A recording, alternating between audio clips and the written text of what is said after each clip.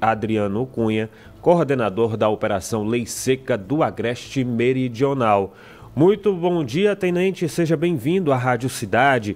É, primeiro, essa operação deve ser realizada de que, de que forma, né? Quais os tipos de ações que a, a, a coordenação né, da Operação Lei Seca deve implantar, principalmente nesses dias de festival? Bom dia, Rodrigo. Bom dia, Laís. Bom dia a todos os ouvintes da Rádio Recife. Cidade. É, nossa operação vai estar a partir de hoje, terão todos os dias durante o FIG, em horários e locais diversos, que não podemos divulgar. É, temos como objetivo é, garantir a segurança do trânsito. A Operação Lei Seca existe há 11 anos, é composta pela Polícia Militar, pela Secretaria de Educação e o DETRAN. Nós somos uma blitz de trânsito, então, além, muita gente fica pensando que a gente está só com a questão da alcoolemia.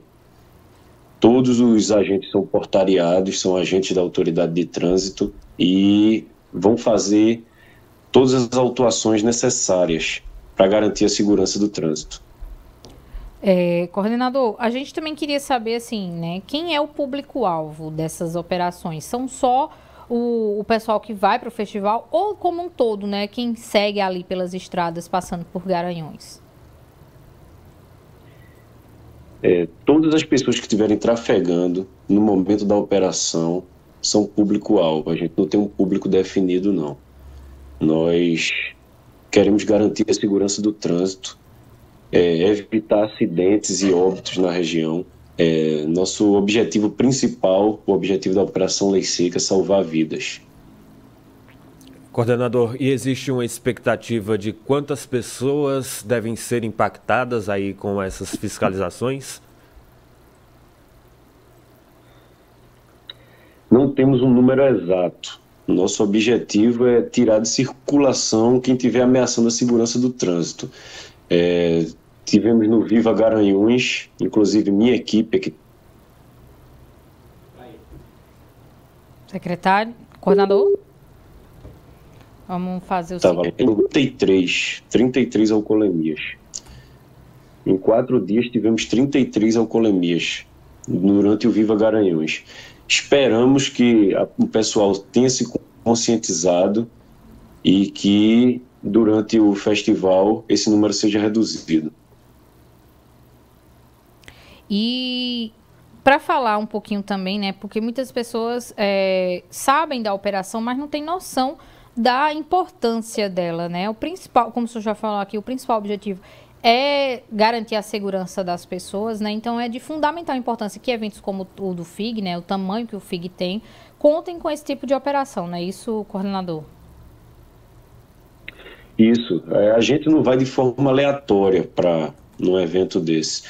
É, lá existe a CRPAN, que é um Comitê Regional de Prevenção a Acidente de, com Moto, que ele, junto ao Hospital Regional do Moro, eles vão passando dados estatísticos do número de acidentes.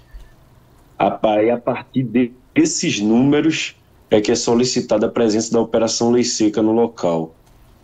Então, nós vamos para fiscalizar e além disso, esse ano estamos seguindo com a equipe de educação, que é uma equipe de pessoas que foram vítimas de acidente de trânsito e que foram capacitadas para repassar para os condutores a importância de seguir a legislação de trânsito.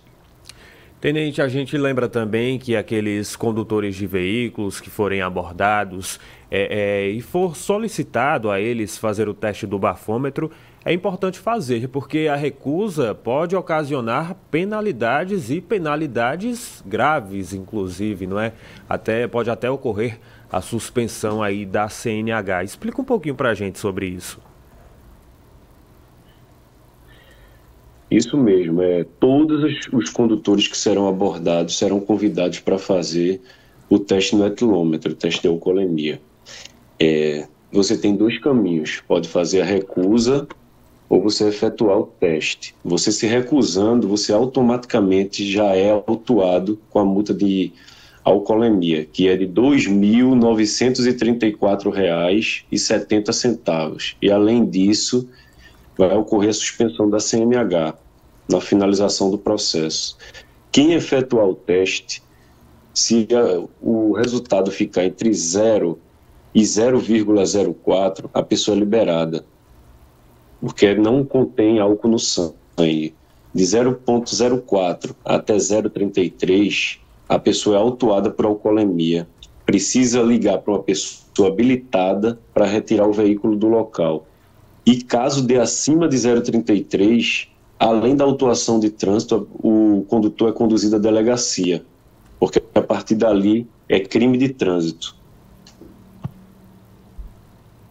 Muito bem, a gente agradece muito o primeiro-tenente Adriano Cunha por essas explicações e torce aí pelo sucesso da operação, que seja tudo tranquilo para vocês e que as pessoas que vão aproveitar o FIG, quem vai passar por Garanhuns também, né, e que não vai necessariamente para o FIG, que eles possam ter a consciência, né, de dirigir e não beber, e se beber, não dirigir. Muito obrigada, bom trabalho e até a próxima. Obrigado, eu queria deixar o recado. Quem for curtir, pode ingerir bebida alcoólica, contanto que não conduza veículo. Se beber, não dirija, use o amigo da vez. Tem motorista de aplicativo, tem táxi. Procure qualquer forma, mas não conduza veículo ingerindo bebida alcoólica. Sua vida é mais importante do que isso, do que esse momento. Muito bem, muito obrigada e até a próxima. Conversamos aí com o primeiro tenente Adriano